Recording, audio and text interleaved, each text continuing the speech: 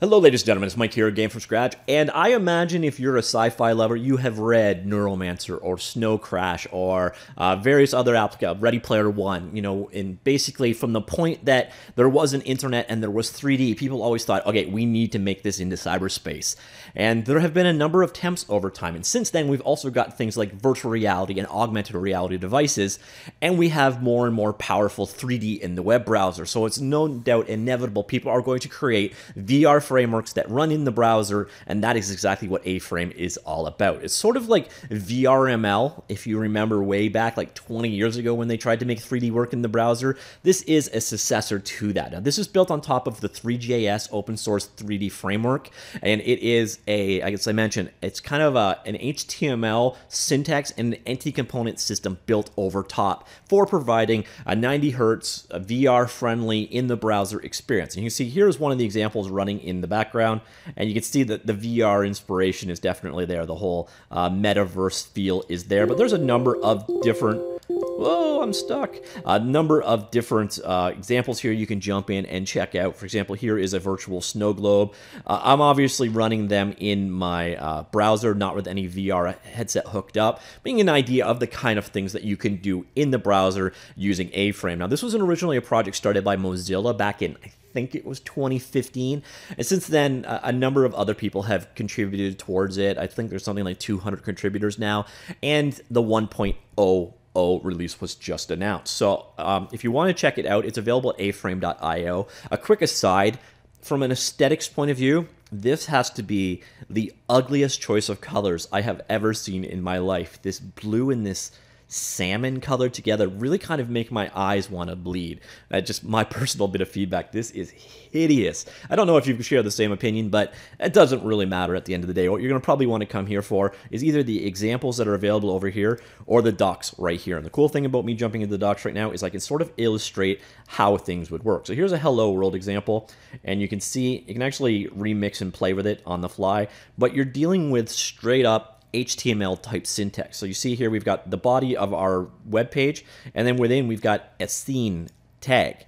And in the scene, we've got primitives such as a box, sphere, cylinder, and plane. And at the same time, you can bring in your own content. You can bring in 3D models, etc. But your scene is composed just like you would expect from HTML. And this is why it reminds me so much of VRML. VRML back in the day, before ironically VR actually existed, uh, it had uh, it, it, had a very similar syntax feel. It's just it was so far ahead of the um, the, t- the time of the day. Uh, the other cool thing is there's a handy built-in visual 3D inspector. Uh, so if you're in a scene, you can have it come up and show you all of the the scenes and entities. You can you can edit things on the fly. It's sort of like a mini built-in editor. Kind of showcase. I think that would be here, so I can open up the visual inspector right here and you see you've got control over all of the things that are composing. So we got this blimp up here. I can select the the entity, the blimp. It's got sounds attached to it, a camera attached to it. There's the blimp entity right here. And then over here, you've got editing for that entity. Now, there seems to be something missing. Uh, you've got the various different components that you can define yourself and add in. Uh, but yeah, we seem to be bugging out a bit with the uh, the inspector on my version, but you get an idea of exactly what the inspector is all about, and that is embedded directly in A-Frame application. So you get this mini editor built in, which is kind of cool. Uh, if you're interested in checking it out, everything is really well documented. So all of the pieces that are involved, all the various different entities that they've defined, uh, the component model. So if you want to extend it yourself, uh, details here for how to bring in your own 3D objects.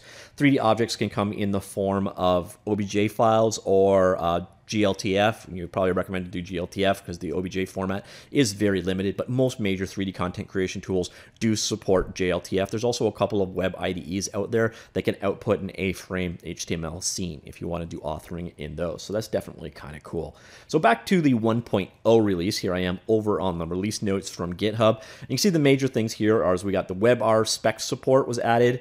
Uh, we've got WebXR gamepad module added, so you've got controller support for the HTC Vive, the Daydream, the Oculus Rift, the Rift S, the Rift, uh, sorry, the Go, the Quest, uh, the Microsoft mixed reality devices, and the Vive Focus. And we've got experimental uh, WebXR augmented reality mode, a new VR and AR, uh, new Enter VR and Enter AR icons. Um, and we got Quest controller support. Uh, there's an option to set 72 megahertz mode on the Oculus browser for the Quest. I don't know, 72 megahertz for VR might make your eyes kind of hurt. I, wonder if that gives you a headache, but I'd be interested to find out.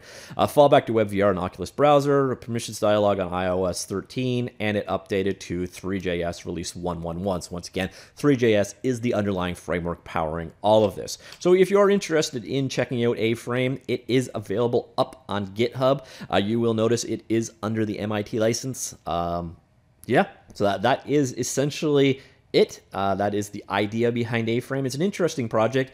Um, I don't know that VR took off the way that we thought it would, but I do think that eventually virtual reality, 3D, and in the web is going to be the future. I, I, think at some point in time, we are going to probably stop looking at web pages and jump into a 3D world. I just don't know if this is that future. I don't know if we're there yet. And I think in some ways, it will probably be augmented reality that wins it. Some kind of a, a projected display on your glasses, something like Google lenses that aren't lame. Uh, I, I, think that's where we'll ultimately move towards in the future, uh, not these sealed off VR type headsets. But I do think that there is an element of futurism in this. Is there a lot of real use for it right now?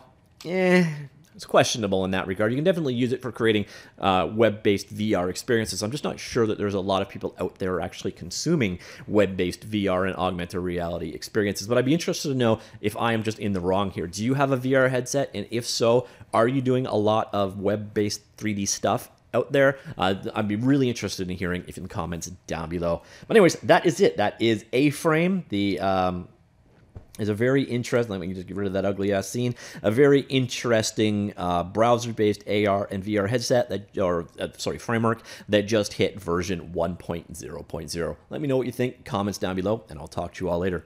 Goodbye.